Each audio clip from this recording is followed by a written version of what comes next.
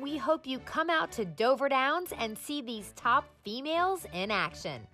And speaking of leading ladies in the first state, I recently had the chance to check in with Lieutenant Governor Bethany Hall Long, who has become a favorite on the Post Time Show. Once again, so excited to have one of the leading ladies in Delaware, Lieutenant Governor Bethany Hall Long. Thank you for coming out tonight. Here we are again. It's exciting. Another wonderful year, and our first year as lieutenant governor has just been fabulous. And I can't thank enough the horsemen in our fine state and the leadership. And uh, I'm excited to be here and celebrate tonight the uh, winners and award winners, and they're all winners in my eyes this evening. I'm glad you mentioned that. It has been your first year. Wow.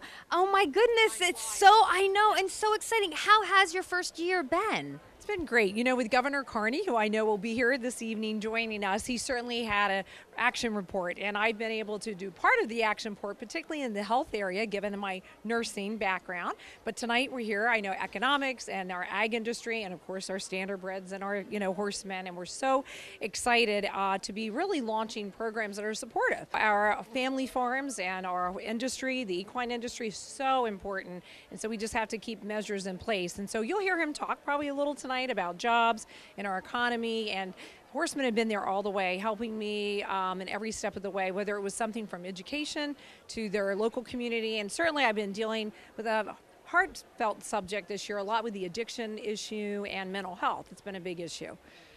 I'm so glad that you mentioned first of all the nursing background because that's always so important and and the agricultural part because you and I are both, and you wouldn't be able to tell by the way we are dressed, yes. but we're farm girls. We and I'm probably one of the few ladies of the state who can uh, say she can drive a tractor, been on combine, and uh, understand that, having been raised on a farm in Sussex.